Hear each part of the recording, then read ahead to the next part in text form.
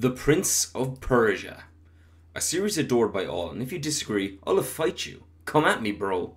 But in all seriousness, the Prince of Persia series led to some treasured gaming memories for so many people, including myself. A series that began all the way back in 1989 on the Apple II computer, Prince of Persia has come a long way, and today we will be discussing its undoubtedly best series. So without further delay, I'm Jay from Gamecast, and this is Prince of Persia, the Sands of Time trilogy.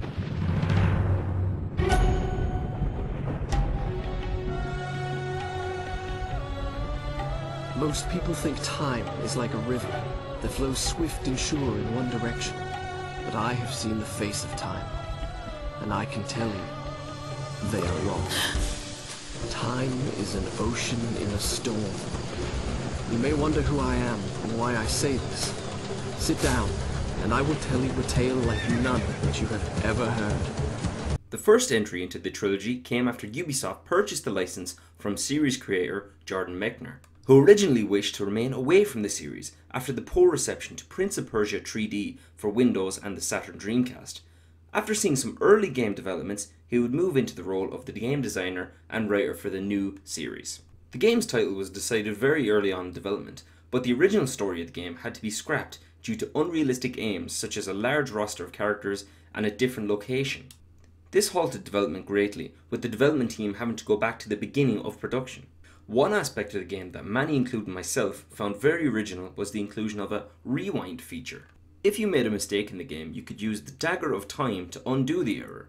This came from the game designer Patrice Désilets after playing Donald Duck going quackers and wishing he could rewind after making a mistake instead of restarting an entire level. Yes, we have Donald Duck to thank for Prince of Persia's most unique feature.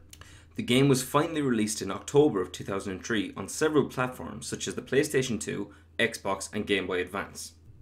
The game would eventually sell an impressive 14 million copies and receive worldwide acclaim. GamePro even ranked The Sands of Time as its 13th best PlayStation 2 game of all time. With the thunderous success of The Sands of Time, a sequel was never far away.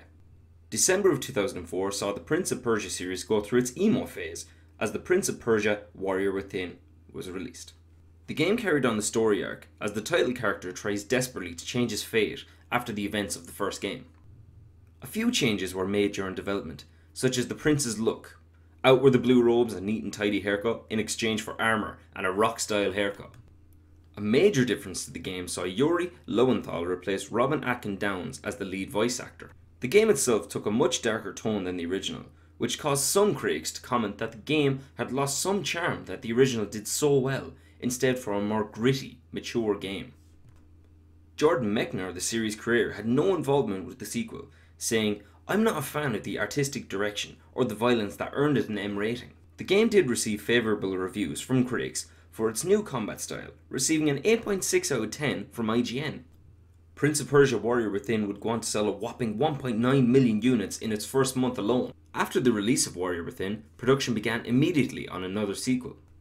Given the working title of Prince of Persia Kindred Blades, it was originally planned to keep the darker tone set in Warrior Within, but when the developer, Yannis Mallat, saw the reception to Warrior Within's change in tone, he decided to steer towards a mixture of both the first two games. An early gameplay change was the removal of the prince's ability to rewind time, leading to a more mature version of the prince than we had ever seen before. Ultimately, the rewind feature did make it into the final version of the game, as a number of changes were made just before the game's completion. The game's story was altered to have the prince experience what the Sands of Time did to humans as they were transformed into sand creatures, which is evident with the struggle the prince has throughout the game with the internal struggle with the Dark Prince. The game was released under the title Prince of Persia The Two Thrones and received favourable reviews amongst critics citing the nice thing about sequels to successful games is that all the rough edges are buffed out and The Two Thrones honours its graceful hero with impeccable control and design. The game was officially released on the 1st of December 2005.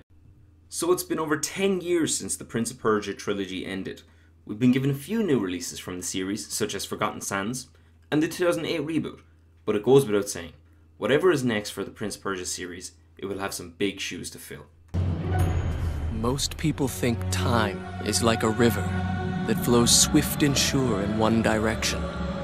But I have seen the face of time, and I can tell you, they are wrong. Time is an ocean in a storm. You may wonder who I really am and why I say this. Come, and I will tell you a tale like none you have ever heard. Thanks for watching our video. Please like our page and subscribe to see more content from Gamecast.